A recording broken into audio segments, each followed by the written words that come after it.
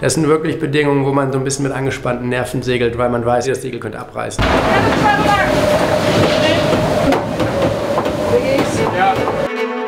His accident happened just after we had like a super nice moment with the crew. The, the skin was like shrinking. I knew it was not a nice burn. I'm not such a squeamish person, but it didn't look ideal.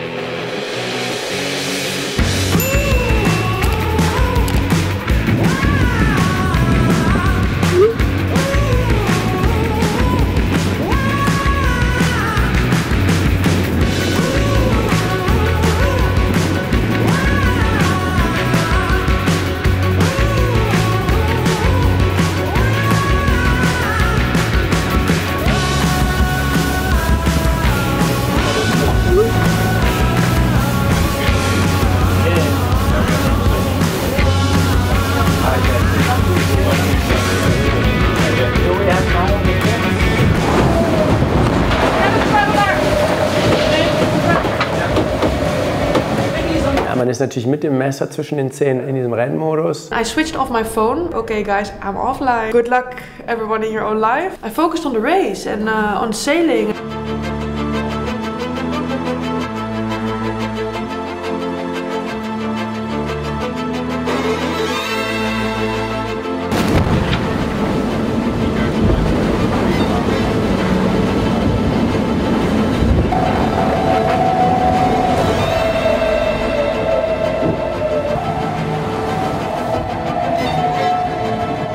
Böen bis 55 Knoten, schon Orkanstärke. Das sind wirklich Bedingungen, wo man so ein bisschen mit angespannten Nerven segelt, weil man weiß, das Segel könnte abreißen. Bang, dann explodiert das einfach. That's kind of the most intense racing we've done as a crew so far.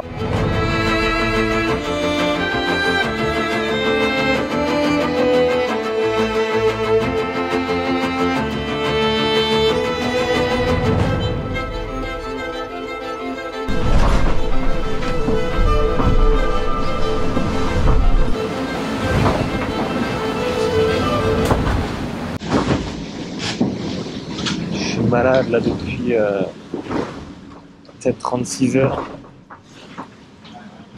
C'est vraiment l'enfer là, on vient de se taper euh, oh, près là, 50 nœuds. Ça tape.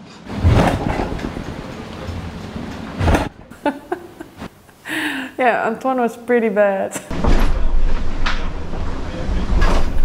I felt so sorry for him too.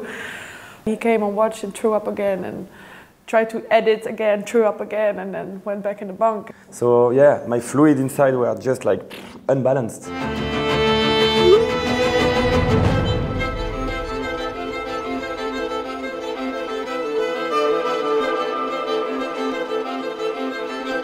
know, when you're normally expecting to go on your off watch for, for a nice uh, couple of hours of sleep, you're finding that you're being woken up every half an hour. We're taking. First, taking. And it's very physical, you know, you're, it means you're trying to grab 20 minutes of sleep, but when your heart rate's up at about 160, so, you know, imagine trying to go to sleep 60 seconds after going running.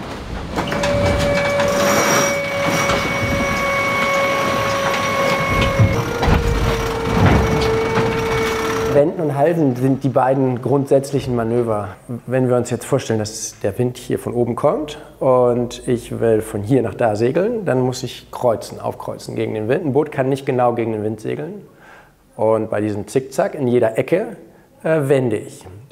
Wenn ich jetzt von hier oben zurückfahren will nach unten, dann fahre ich wieder Zickzack äh, und fahre jedes Mal nach Halse. In der Mitte vom Boot gibt es den Coffee Grinder, eine Winchkurbel. Innen drin ist äh, eine, eine Fahrradkette und wir können mit kleinen Hebelleinenzügen können wir auswählen, welche der Winschen sich drehen soll. all the lines from the mast, from, from the deck and from all the sheets is all coming together in this cockpit and on the winches.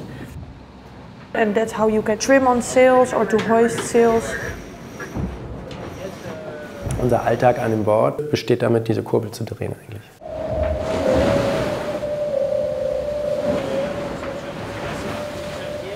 You need some wind to move the boat, obviously, but not too much because then you start to break everything and you have to slow down. You also have to look at the sea state, you also have to look at the wind direction because with some direction the boat can be faster on other uh, wind direction.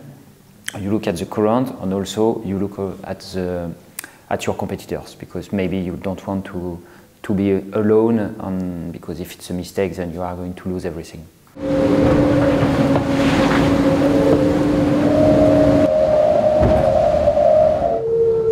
We basically just live like students, don't we? Yeah. We just cook rice and and uh, ready-made meals.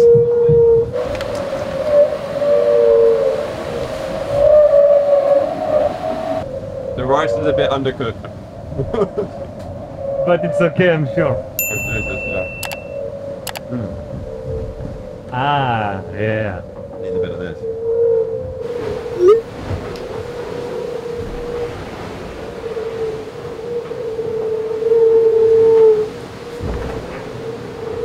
The routine is uh, sailing, eating, shitting and sleeping. And in that, in, in that order, just easy life. You, you just do your thing and that's it.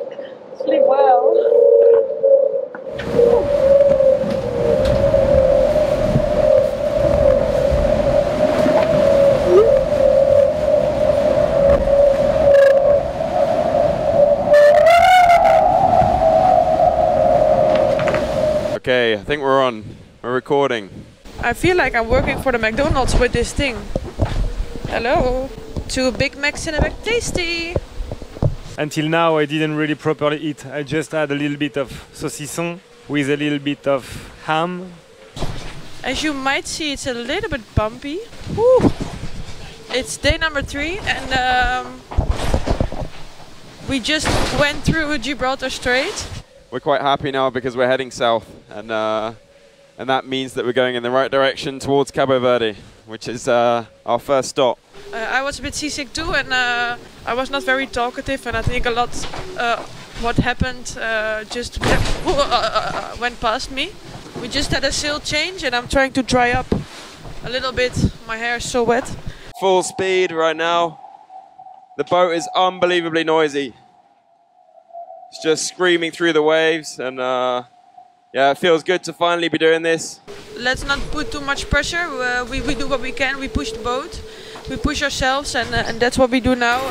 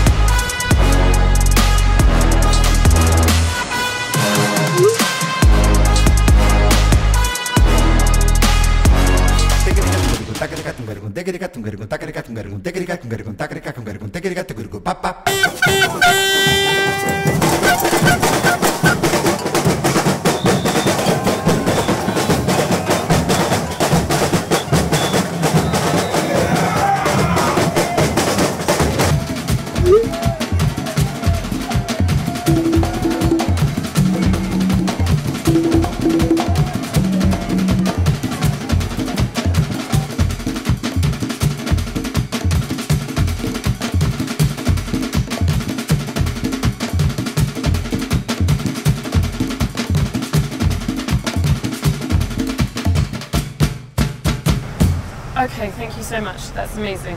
Thank you very much. Cheers. Bye. I'm Holly Cova. I am 33 years old and I'm the team director of Team Malizia.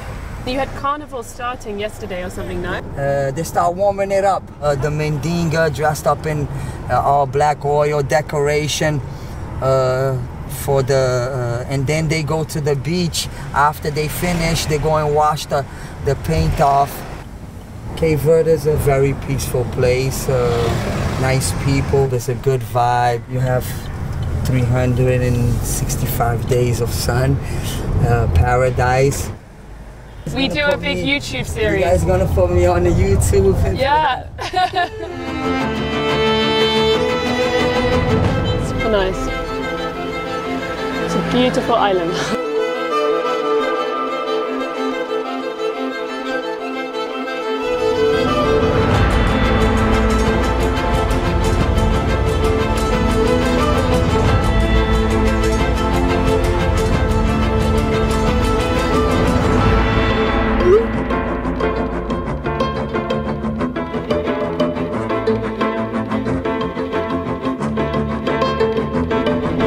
As you can see, we're just sending it through the trade winds.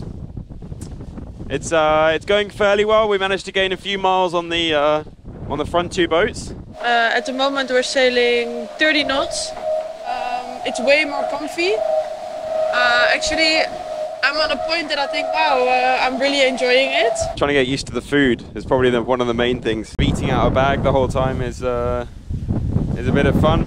I'm eating beef potato hot pot with pine nuts. and we're learning more and more about the boat the whole time, especially with these new foils. We're trying to be really careful with not breaking them because uh, that's the last thing we want to do is go and break the pair of foils. The vibe is very good on board. Um, today we had a very lovely moment with um, some pirate music and uh, we were dancing in the cockpit, making fun with each other, we're laughing and um, I think it's important to, to do these kind of things. Antoine, do you know what's in here? I have no idea. This is called the Baton for Nature, and uh, Team Malizia is carrying it on leg one. So every leg, a different team will carry this around the world, promoting the whole idea about the universal rights for ocean, off the oceans. There's actually nothing in there. What will happen if I open the bottom? Oh, we're not gonna do that. We leave it a secret. Yeah. His accident happened just after we had like a super nice moment with the crew. Boris decided to, to, to cook some dinner and uh, the pot fell over with boiling water and it hit his feet and well, we all could see the, the, the, the skin was like shrinking. And Boris at that point he said, oh, I feel nothing, I feel nothing. And then I knew, oh, okay, that's bad if you feel nothing. Die, die meisten Unfälle passieren ja im Haushalt und sowas hier auch. Es war jetzt nicht der, das äh, große äh, Naturdrama, die Welle, der Sturm oder sonst was. Es war einfach ein Unfall im Haushalt. I saw the moment and I was a bit scared because I could see directly the skin like out of his foot and it was a little bit like really pink so I knew it was not a nice burn.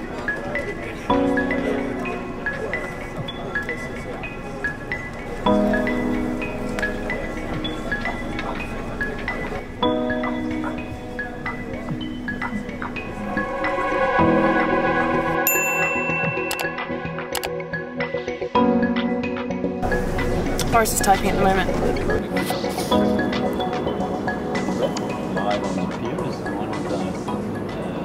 Like this. Looks pretty painful. It's just one of those shitty accidents which you just hope never happens, you know. Um, and yeah. Team Malizia, welcome to Cape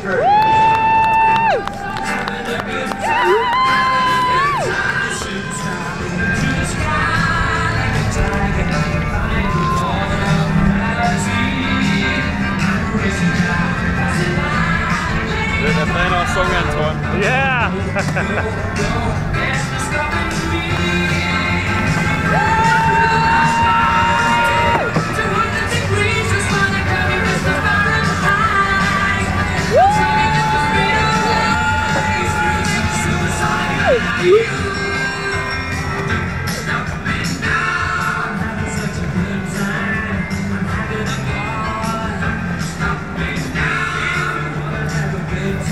feeling on the arrival was um, elation. Very happy that we proved ourselves. We sail in a conservative way, uh, especially in the strong wind, and then we were able to slowly, slowly start to push a bit the boat. Especially uh, downwind condition with, uh, with these foils was uh, very yeah, surprising how fast we were going.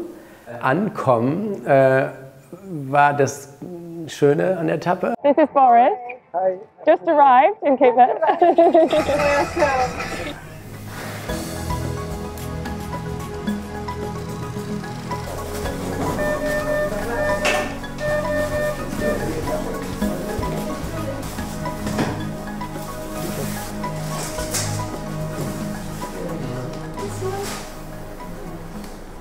It looked better yesterday. It's always better the day it happens.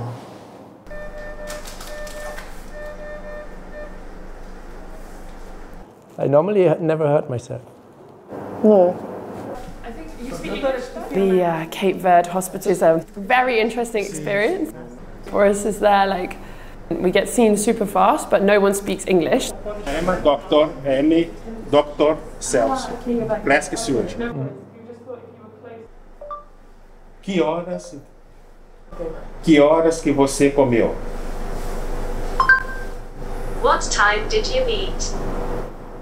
Four hours ago. Four hours ago. Yeah. Drink or Drink, drink some water and I eat some muesli.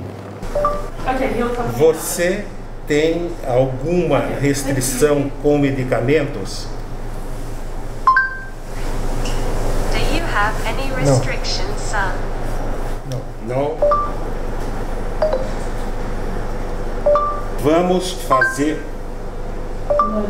Vamos fazer o seu curativo na outro local, no bloco cirúrgico. Let's do your bandage on the uterus. Upstairs. Okay. You understand? Okay, perfect. So he'll. His translation said, we will do the bandage on your uterus. Ja, un momento. Weil es war eine sehr skurrile Situation im Krankenhaus, ähm, dort eigentlich nicht so richtig zu wissen, was wollen sie machen, warum. Catheter, no, I don't need that. For what? The doctor said you need. Oh, what? They want to put something in the veins. Cateter. Sim, yes. Why? So first I want someone who can translate. Uh, we are in a sailing race, so I don't I need to know your plan, what medics you want to... Il faut que je sache qu'est-ce que vous voulez faire. Yeah, it got more and more kind of dramatic, I guess, serious. I mean, the doctors are really good, it's just we couldn't understand each other. And they're not understanding that we can't really understand. Vai faire les pratiques, il il va faire. Yeah, well, I'm here with Boris, and we're just at the doctor's um, in Cape Verde, and Boris just wants to speak to you quickly. Yeah, hi Spike, thank you. Yes, okay, fine, thanks. They cannot speak to us, so I was just trying to ask you what would one, what would one normally do, and then I can see if that matches. They want to cut the skin, that's what I understood.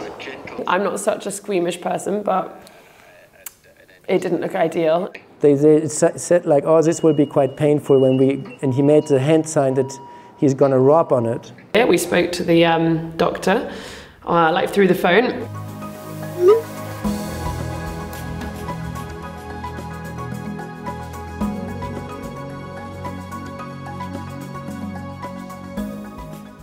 You had a, had a look at the picture? Yeah, it doesn't look quite as nice and clean as it did uh, yesterday evening. That's the thing with burns. Um, you know, they tend to get worse before they start getting better. So should, I- should I just then put myself in their, um, their command and let them do whatever they want to do, or should I be a bit suspicious about it? I think you should just put them in, in uh, put, put yourself in their hands. Burns will be something that they see uh, relatively uh, often, um, so they'll be they'll have their own way of managing them, and their, and their own and, and that's probably going to be reasonably good. Good, super. Good, Spike, thank you. Right. Okay, il, he said just whatever you suggest we should do. As It's a bit, makes you a bit insecure if you cannot speak to the doctor. Yeah, for sure. Also, I always tend to know better everything, so that's the other problem. When I did my medical course. Yes, is it correct? Bre obrigada. Und dann wurde ich irgendwann in den OP-Bereich gebracht. Bon dia. Und da durften dann meine Begleitung nicht mehr mitkommen. We're in the block now. Dann ging es erst richtig los. Und dann haben sie mir alles weggenommen, alle Kleidung. Und dann hielt ich mich noch so nackt am Handy fest. Und dann so, mm -mm, das Handy musst du auch abgeben. Und dann kam ich in so einen Raum, der wirklich wie so ein, wie so ein keine Ahnung, der, der Messerraum, ja. Hallo, und der. Und da ist dann so ein abgewetzter Holzschemel, auf den haben sie mich dann raufgelegt und dann kamen sie mit so Verlängerungen an beiden Seiten, die sie so angeschraubt haben, so starke tätowierte Typen, die auch sehr ein bisschen furchteinflößend waren. Das waren auch so eher die Messertypen, würde ich sagen. Und dann haben sie meine Arme auf diese Dinge schnallen wollen. Das wollte ich überhaupt nicht. Dann haben sie auch schon meine Blicke gemerkt, wie ich so, äh, äh, nee, hier bitte nicht. So. Und ich, da dachte ich, in dem Moment dachte ich so, hm, vielleicht gehe ich einfach. Ähm, dann machen wir das einfach selber. Ich nehme eine Nagelschere, schneide ein bisschen Haut weg. So.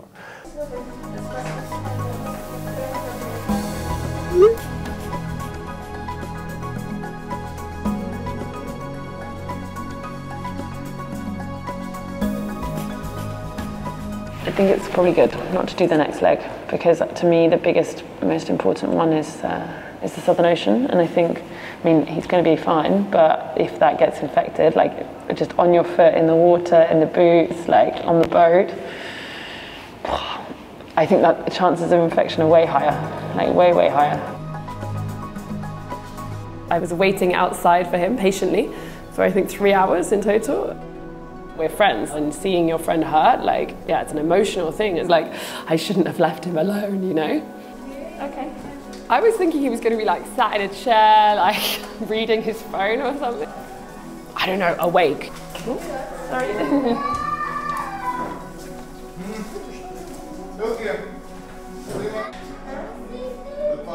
when I saw him in the bed, like unconscious and fully like in a gown and all these other sick people around, I was like, I was thinking like, oh my God, I've like killed Boris. You're all good, don't worry. How are you feeling? Good. First, we just thought it's going to be general anaesthetic, and then they just knocked him full out. So it was a little bit of a surprise. The first thing I was like, spoke to him, and like, he was like, I'm good. I was like, okay, cool. Because I've never seen him like not strong. Is it now quarter past 12? Yes. Quarter past 12. We're not missing our meeting.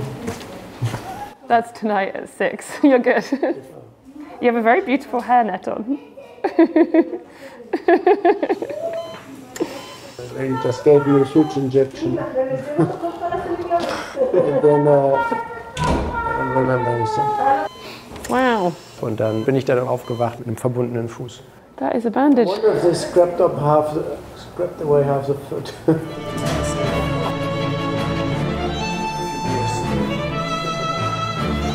Okay, thank you so much. Muito obrigada. Muito obrigada. Obrigada. I honestly thought that this stopover was going to be like easy, but I was very wrong.